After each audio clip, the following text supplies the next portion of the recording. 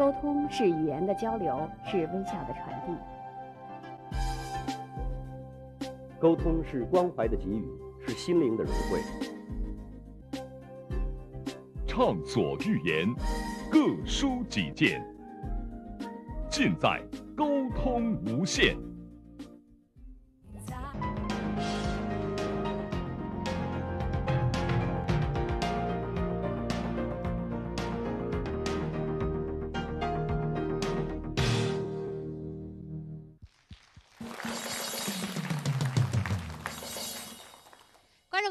好，欢迎您收看我们《沟通无限》节目。今天呢是中华民族的传统节日元宵佳节。那么在这天呢，很多的家庭都要团聚在一起。那么借此机会，我代表《沟通无限》栏目的所有的编播人员，祝大家阖家团聚，万事如意。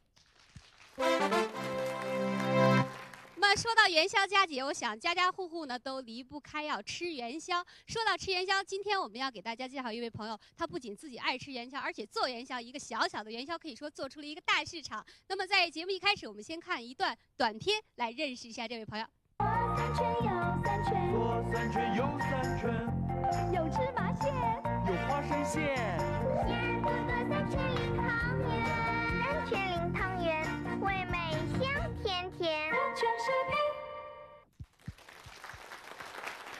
那么下面我非常荣幸的向大家介绍，今天来到我们这个沟通无限做客的嘉宾是三全食品股份有限公司董事长陈泽明先生，有请。你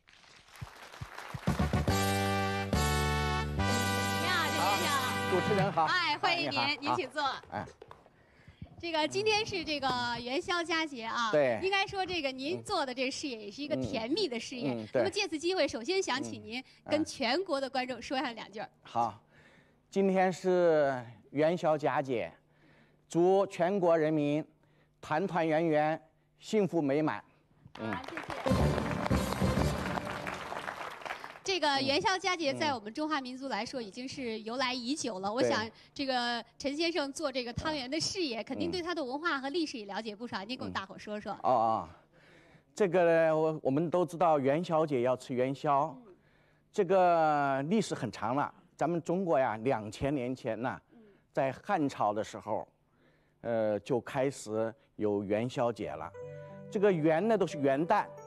这个宵呢都是晚上的意思，古代这个宵嘛都是夜晚，正好这个正月十五呢是元元亮最圆的时候，又是一年的开始，冬去春来，呃大地回春呐，气象更新，这是一年的好事子，呃好日子。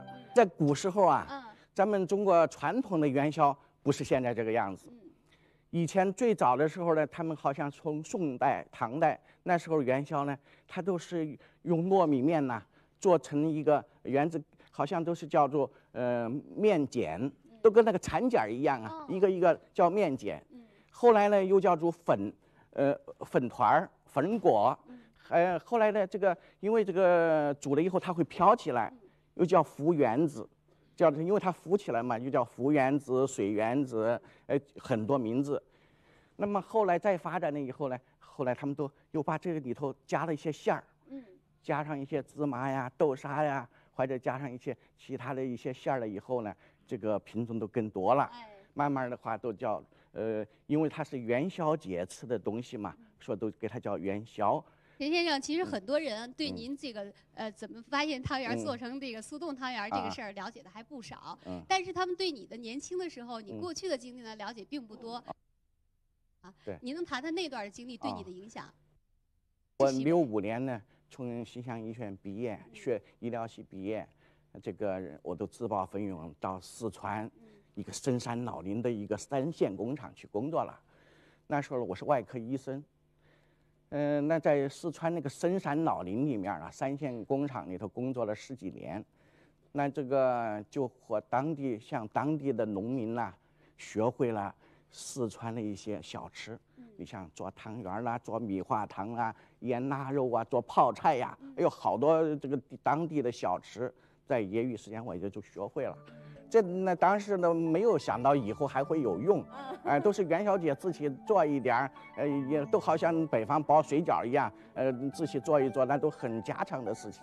那从四川回来，我都有一样东西，我都其他东西都都无所谓。但是有一样东西我带回来了，什么东西啊？呃，请大家看一看，哎，可以啊，什么东西？我们来看，这是什么呀？就从这个小石磨说起了。啊，呃，在四川呢，我逢年过节啊，我就用这个小石磨，呃推糯米，粉嗯做汤圆儿，嗯，做米花糖，做猪耳巴、椰耳巴，哎，这就靠这个磨，在家没事儿都推些糯米那这。样一次这下来能包个多少个汤汤圆儿？哎呀，那看你你要下功夫弄个呃，就是一次吧，咱就呃按那个啊一一次泡一次弄个五斤六斤，反正自己吃不完。啊，自己吃不完啊。这是咱们最原始的做汤圆儿的这个工具哈。，对。嗯，呃回到郑州来以后呢，呃，这逢年过节呀、我们自己家都自己泡点儿江米，嗯自己推一点儿，推了以后做的汤圆儿呢，我自呃呃，好像是我光我自己吃了还觉得还不够瘾呃过瘾，嗯我又把自己做的汤圆儿，呃嗯那这个呃那弄好了以后给周围的邻居呃朋友，尝尝哎，凡是吃过我我们包的汤圆啊，他们都赞不绝口。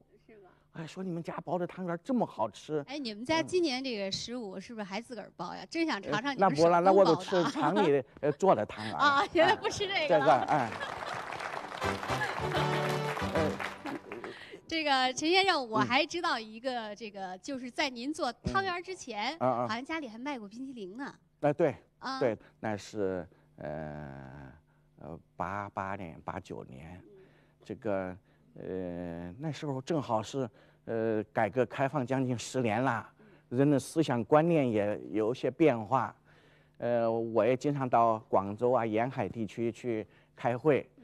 我在我上海看那个冰淇淋卖的很很很不错，那么我就呃嗯开始借了一万五，买了一个软质冰淇淋机，都请家里人呢都业余时间都去呃嗯搞这个，啊哎都嗯搞冰淇淋，就从这个地方呃开始起家。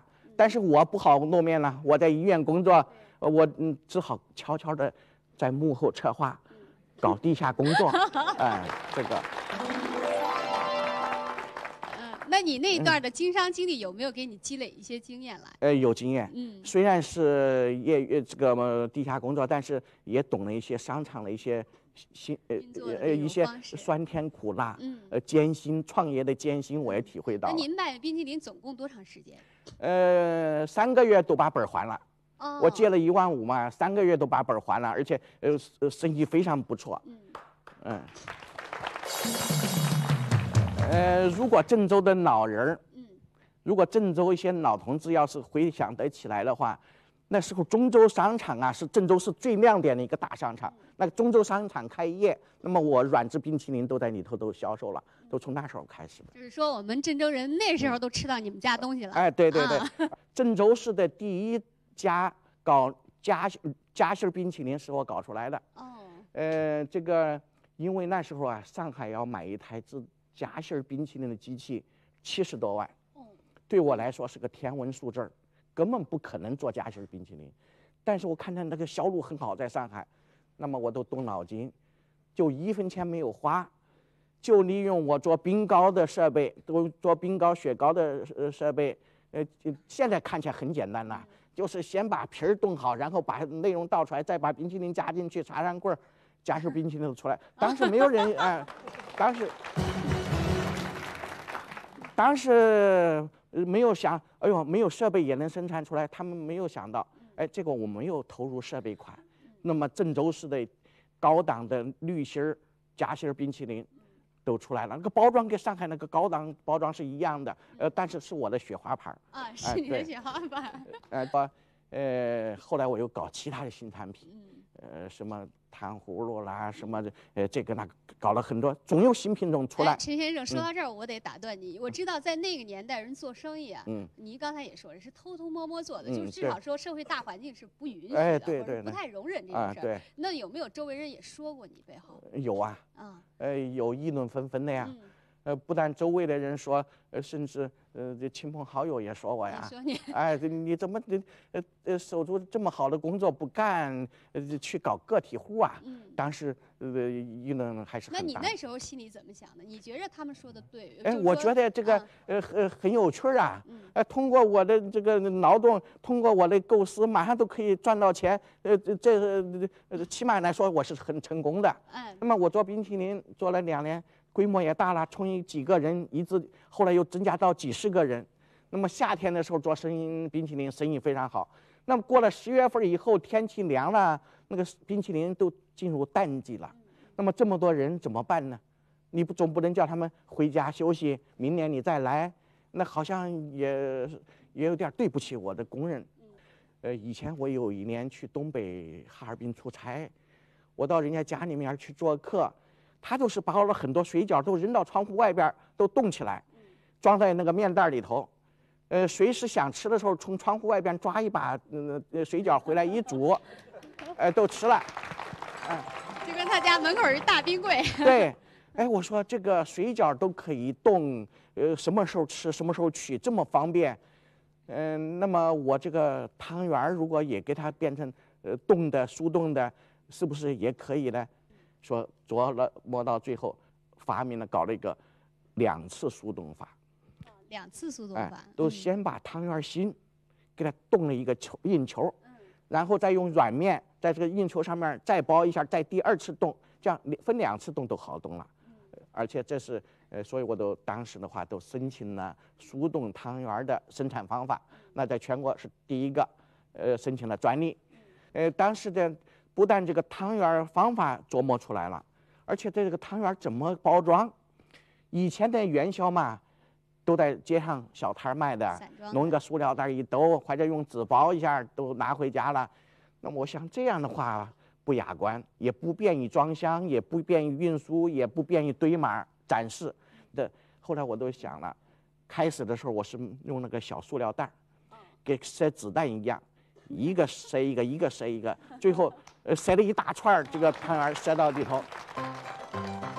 呃，最后呢，呃，这个用马粪纸做托盘儿，这个软的呃呃塑料呢，用订书机订到这个上面。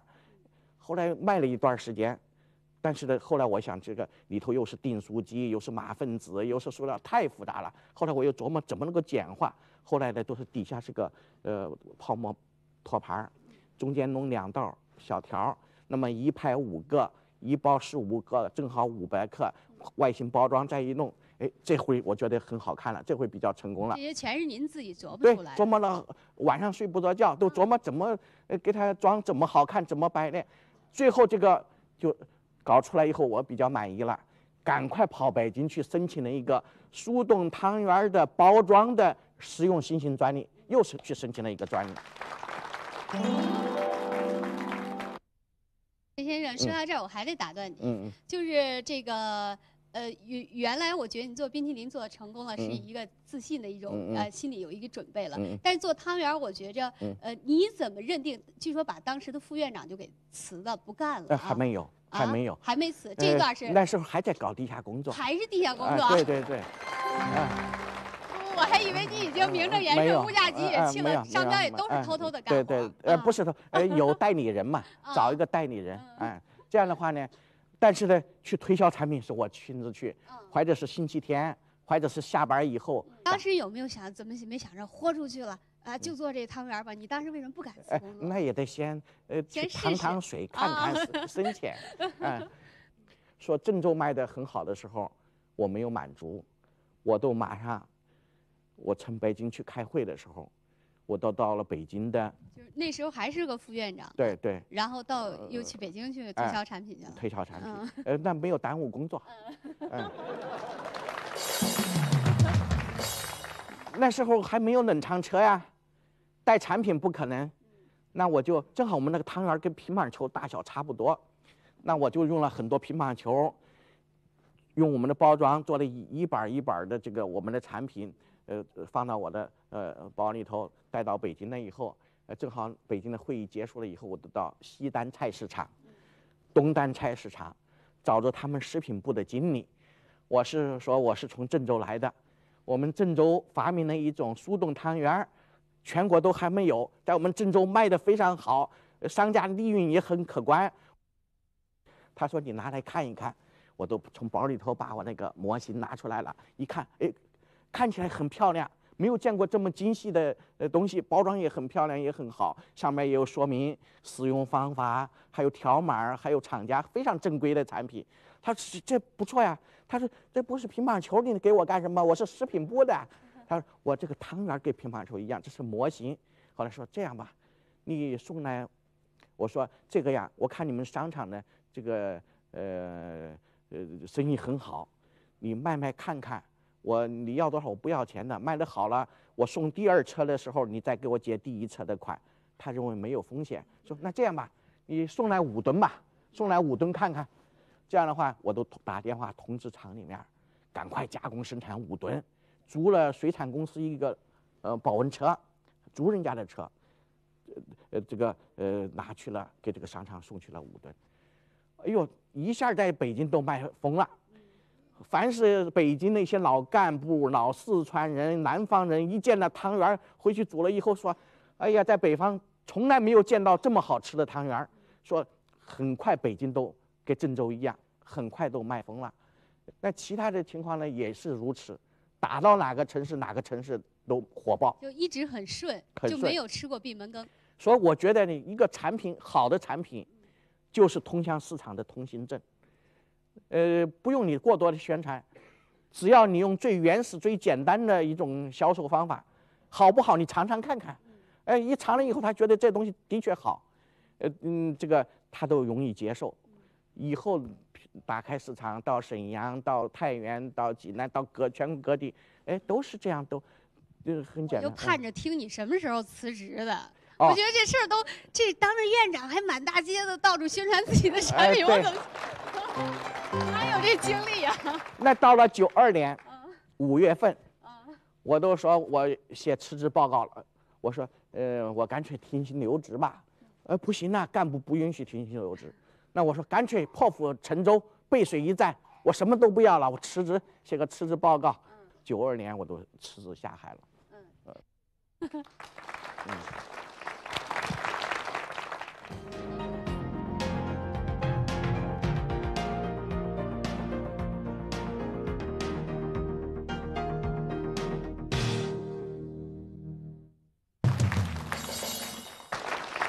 每个人做事情的时候哈，他都会有一个目标。嗯比如说，那你当时做这个呃汤圆的时候，嗯那你那个目标设计的有多大？嗯，没有多大。嗯呃，这个当时我觉得，哎呀，只要做得很好，受欢迎，能够得到消费者的认可，能够呃嗯大家喜欢这个产品都行了。没有想到今天滚汤圆越滚不可收拾，呃，一下收拾不了你当时。想挣多少钱嘛？咱说点。我没有想挣多少钱，我都说能够比比在医院工作比强一点强一点都达到目的了，嗯而且干得还很舒心。嗯哎，说我说我赶上了改革开放的好时候，赶上了人们生活水平都提高了，家家户户冰箱都普及了，说我生产出来这个速冻食品正好赶上了用场，得到了这么好的机会。说我为了感谢党，党的好政策，富国富民好政策，为什么我一开始都把企业起名叫三全呢？就是为了感谢党的十一届三中全会，为了纪念他，说起名叫三全。嗯陈先生，哦那么据我们了解，你当年曾经在这个西北，啊而且从事的是医生啊，啊从事的医生这个职业是吗？对，在四川工作呢十几年，的确对我锻炼很大。嗯这个因为三线工厂嘛，大家都知道那个环境比较艰苦。我们才去的时候呢，都是什么都没有，离县城都几十公里，呃，喝稻田水，住大庙，大干大雷，这个生活相当艰苦。但是呢，艰苦的生活，哎，都锻炼了我，呃，这个意志了，能够克服困难，自己什么都得自己动手。你要想吃好的，自己做。对。呃，你要想嗯这个过得好点，你自己创造去。你像我们那个呃，连房子都是干那里都自己动手盖。啊，我听说这个领导还给你派任务，让你去那个地方还建一一所医院。哎，对，，那个医院呢，我因为这个呃兵工厂嘛，其他都是搞工的，都是嗯搞那个呃军工企业的。那么医院要盖医院，他们没有，那我都自己的自己画图纸，自己去这个呃采购设备，呃这个什么都得自己动手。然后呢，找一些施工单位来根据我们的意图，呃，把这个呃医院都建起来了。说这这都很那。您那时候是做什么什么那个就医生是哪个专业？是内我是外科医生外科医生啊，哎要动刀子的。呃，虽然是外科医生，但是在那个很偏远的山区啊，那什么病你都得嗯得看，全科医呃，也 得全。呃，本身是外科，但是你遇见那那什么小儿小孩有病你也得看，嗯那甚至于剖腹产、难产你也得去开刀，也得做，什么手术都得做，很锻炼人。嗯嗯，那个当时据说是那个工具啊，就嗯这个手术刀，您还做了不少的哦，不是那个手术器械啊械，手术器械啊。因为当时嘛，这个呃工厂里的条件很好，呃什么呃机床设备什么东西都有。这样的话，我一看很多手术器械比较落后，那都利用工厂的有利条件，那更新改造了一些手术器械。骨科器械、脑外科器械，呃，甚至包括节育手术的一些小器件，我都给它又重新就给它，嗯、改进改进，搞了一些小改小革吧，嗯那你是不是跟你这个呃小以前那个小时候的性格有关系？是不是以前就爱钻研点什么东西？啊、是这样，呃，虽然是学医的嘛，在学校但是有业余爱好。嗯，这个我觉得呢，这个呃幼年时候的这个生活的磨练，对自己帮助很大。我业余爱好我是喜欢无线电，嗯，喜欢无哎线电。所以说我在初中、高中的时候呢，都自己搞无线电，搞收音机啊，半导体收音机，最早是矿石收音机，后来是真空管收音机，后来又是半导体收音机，最后又是录音机、录像机，呃，慢慢自己都呃业余爱好，呃，无线电爱好者，慢慢都对这个呃无线电都嗯呃入迷了。所以说我后来工作以后啊，老是给人家业余时间给人家修东西，彩电坏了我帮他修，呃，并不是说呃这么哎我有这个爱好，几天几夜不睡觉也要把这个毛病给他找出来，呃不亮的嗯电视我得给他搞搞正常，哎，所以这做是种业余爱好，从成了一种嗯、呃弊病了，我觉得，你觉得成对病？至少通过这些事可以看出来，您是一个很执着的人。嗯一般这搞技术人都比较专注。嗯，对啊对，我也搞了一些利用在工厂的有利条件，有用废料，都研究，哎，搞了电瓶三轮摩托车。那时候就嗯国内根本没有电瓶车，哎，我把它搞了一个电瓶车，平常骑着我自己电瓶车上下班。呃当时他们都觉得很奇怪，看看稀奇。最早市面上没有卖洗衣机的时候，我都用上洗衣机了。是吗？就是用一个大铁桶，嗯，是呃噪音一定很大吧？呃，噪音不小。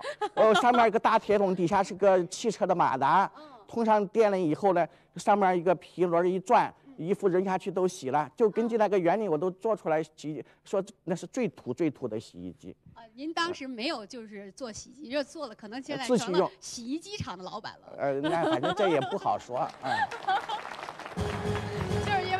没有像做汤圆儿这么执着呃，哈。嗯，对，嗯，那这个现在三全应该说是很知名的企业了。嗯那么很多朋友也想知道，咱们三全现在规模究竟有多大呀？是什么样啊？嗯，现在的三全的话呢，呃，有职工大概一万六千多人，除了郑州本公司以外呢，在全国还有三十五个分公司、办事处和分厂。这样的话，产品覆盖面已经遍布全国各地，连西藏、拉萨都有。这样的话呢，就是说在市场占有率，据去年的统计吧，占百分之十九点八三，那排列第一位。除了在国内这个市场，嗯、继续在扩展以外，我们去年有获得了呃智云的出口权，产品品已经很顺利的，呃走向了世界，走到加拿大、美国、香港、新加坡这些地区已经嗯、呃开始出口。那这个企业走到现在，这个每个人伴随着企业都会嗯成长。那这个让您自己要简单的用几个词来形容自己是一个什么样的人的话，您会用哪些词汇？我是一个不是太精明的人，但是呢，是个实实在在做事的人。嗯，那您知道您的员工他们背后是怎么议论您吗？您了解不了解？哦，那个员工嘛，我根据片面的了解，听说一些，嗯，觉得我这个人呢抠，抠。哎，呃，不舍得花钱，我我自己消费啊，嗯嗯，自也不。不舍得花钱，嗯，不要真去买的话，你一般会去哪些地方买？我绝对不买。啊我去那个呃，要买我都是去那个什么黄河路那个小商品批发市场啊。啊呃，但是我买设备、办厂，我绝对不抠。嗯什么设备好，那花多少钱我都不吝惜。嗯那看用到什么地方，用于生工厂的扩大再生产，用我的广告宣传，用于企业的品牌做塑造品牌，嗯或者请请外边的高级管理人员，这些我一点不抠。嗯。呃呃，尽管所以他们那个抠也是片面的给你下的定义。呃，对对对对，我知道今天来了不少您的啊员工咱们听听他们两哎头哈。好好好呃我知道其中有有几位还跟您当年一起给您叫陈师傅的，哎呦，哪几位？给我们举举手嗯。啊，小常来，我呢，我是一九九二年十月份进厂的，那时间厂已经就是，嗯，就是就叫郑州三全食品厂了。就是我进厂以后呢，厂况是当时很简陋，就是有大概有一百多个人吧。当时就是跟着我 陈师傅。嗯陈师傅，因为他为啥叫陈师傅？我介绍一下，就是当时就是，呃，董事长就已经就是，因为成为成为厂了嘛，成为郑州三全食品厂了。当时就说工人都叫陈厂长，陈厂长就是董事长听了，哎呀，这倒不是这不好听，喊师傅吧。就这样，就是陈师傅，陈师傅说，我们就一块儿，你看，就是那时间装车呀，不管去冷库里搬货啊干啥，都是一块儿，就一直到就装车吧，一直是等车装好、捆绑好，我们一块一块策划，一块到。到现在也是，就是有啥事儿，不管就是我们现在买的新型设备干啥，都要调试干啥，董事长都一直陪陪陪到底，就说跟我们在一起就是调试干啥。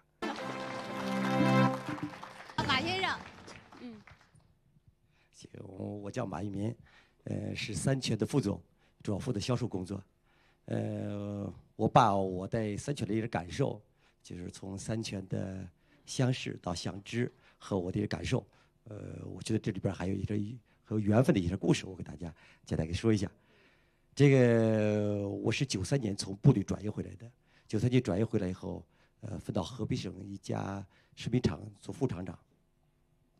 在做副厂的两年中啊，就是感觉到就是自己的一个特长，在这种国有企业里边不能完全的发挥，所以来了以后，从销售部的副经理到销售部的经理，到目前的副总，这几年每走一个台阶，真的是离不开董事长的关怀。我最印象最深的时候，就是刚进入三全，进入三全以后呢，呃，因为做销售工作，有些医院要要要要签批，各地的医院要签批。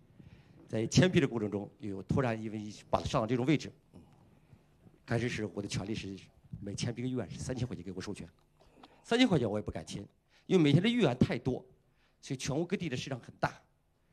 董事长把我叫到办公室，签签错了都不要紧，很给我很大的鼓励，就是这种这几句话，这我这一辈子都不会忘掉的。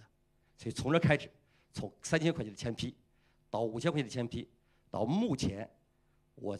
就是几有时候每天的促销促销额度能达到上百万，这促销度都是都用我手签批，对我的信任，所以说我现在成为三全人，我真是感到自豪，真的很荣幸，说谢谢大家。哎，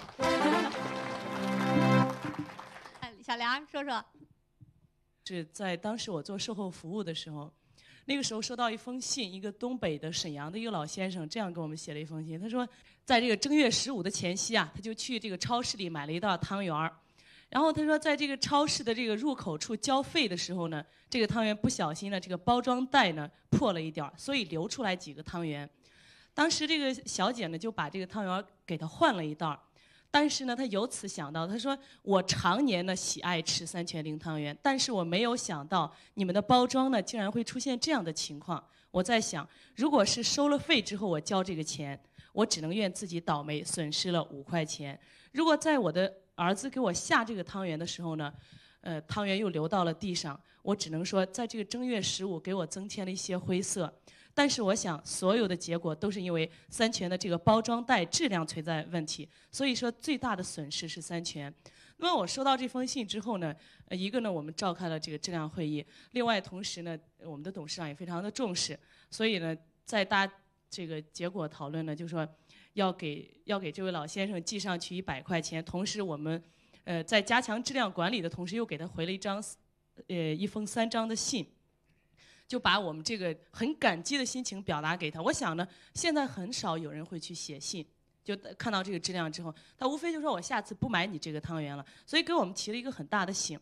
那么寄这一百块钱过去之后，我没有想到两周之后又收到这样一封信，他说我真的没有想到你们不但这么重视，而且还寄来一百块钱。但是我全家人说我们没有损失，所以我不应该要这一百块钱。但是既然这一百块钱寄过来了，如果退过去也不合适。经过我们全家讨论呢，我们把这一百块钱到超市里买了所有的三全零汤圆，送给我的亲戚和朋友。我要让他们知道，三全的质量不仅好，三全人的售后服务也非常好。我要让以后我永远吃三全零汤圆。我来自山东济南联世通公司，呃，我和陈董事长我们是相识十三年了，那我就非常。就是注重哈，就是观察陈董事长他的一举一动啊，他对待客户啊，他的供应商，啊，就是这十三年来了，在我的记忆里，就是他没有在诚信这两个字，过去没没有讲诚信啊，但是没有一家就是我欠过款啊，各方面信誉特别好，而且呢都是为对方考虑。哎，陈陈先生，您自我介绍一下好吗？哎，大家好，我是来自江苏苏州的三全林的经销商。哎，是这样。那您长期跟咱们这个三全打交道，啊，谈谈对他们的印象。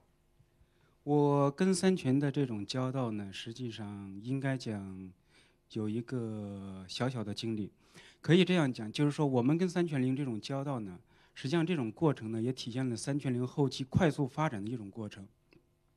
嗯，大家也知道，就是说刚才咱们陈董事长也介绍过。在三全零，它的发展就是说，从九二年到现在，已经经历了十年多的时间。那实际上，我们跟三全零做这种生意呢，应该讲接触是在九六年，但是真正呢，就是形成这种合作的关系呢，应该是在九八年。那为什么会有这两年的经历呢？也就是这样讲，三全零它毕竟说是以速冻汤圆为载体的一种速冻。那么汤圆这种产品呢，应该讲我们身处南方的同志都知道。那么在南方呢？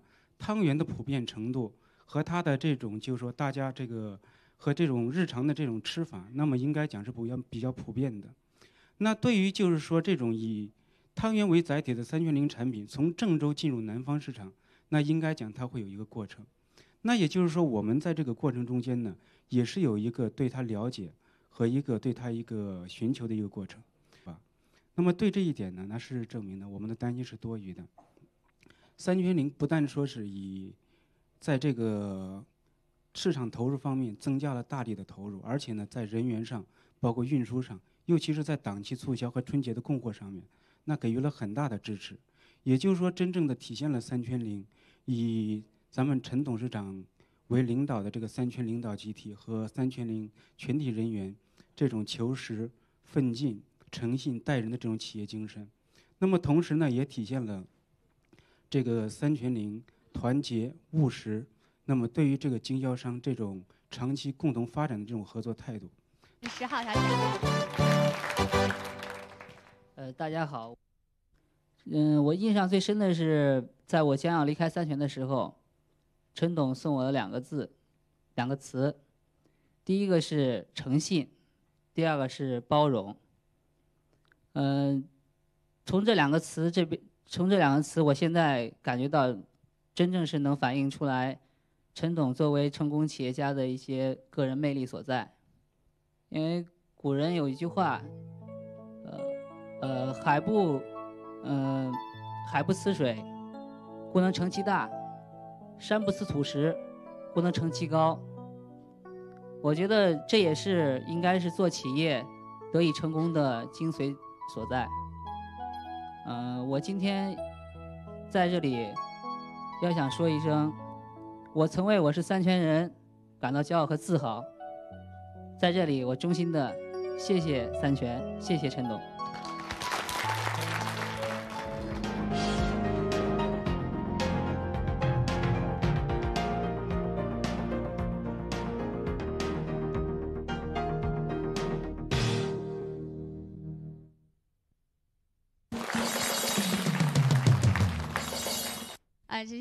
就是刚才大家也说了这么多，我们啊能感觉到，就是你们的员工都把您这儿当成家。嗯，呃，除了工作以外，也经常搞些文艺活动。你像以前在小杜庄的时候啊，我专门请舞蹈老师啊来教他们跳舞。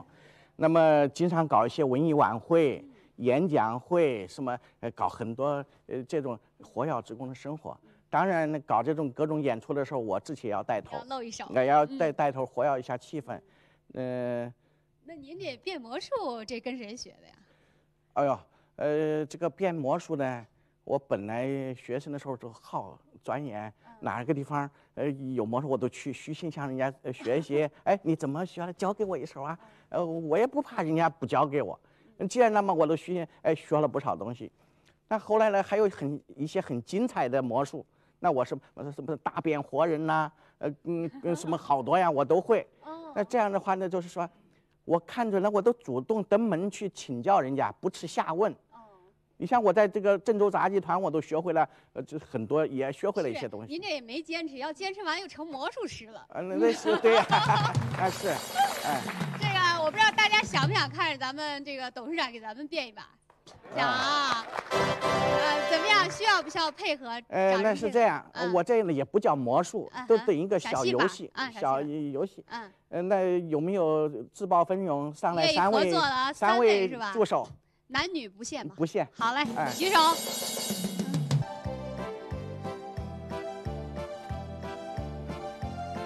这呢，他们呃三位呢，每个手里头拿了一个纸圈儿，每个人发一个手剪子。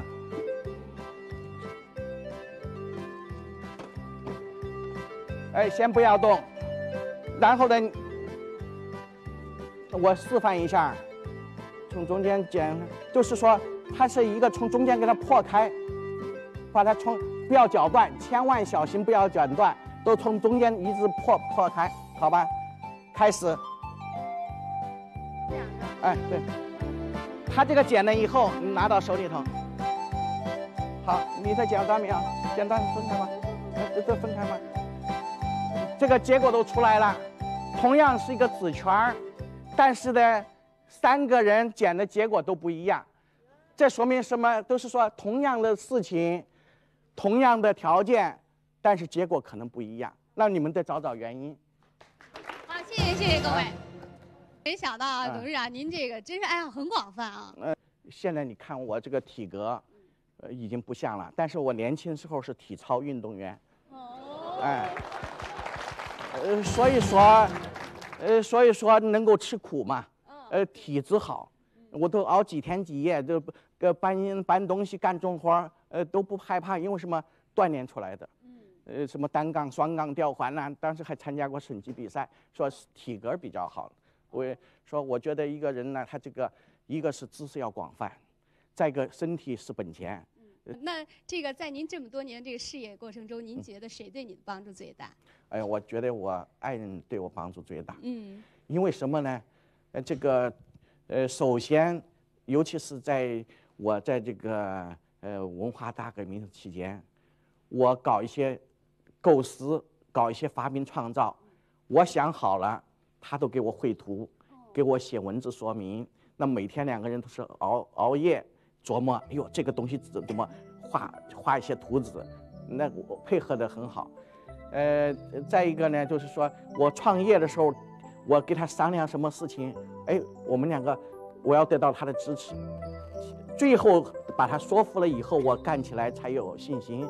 说在这方面，他是我一个坚强的呃支持者，而且呢，这说做汤圆呢，真正会做的不是我，是我爱人他做汤圆，他跟我在四川生活了十几年，他都学会了四川的手艺，所以他这个教工人手把手的教工人呢，是我爱人在车间里头手把手的教，呃，最先操作的工人是他带头教教出来的，呃，而且这个他工作很细，不管干什么工作，这个小事他算得非常细，想得非常周到。我这个呢都是大面上说一说都拉倒了，我都不在乎了。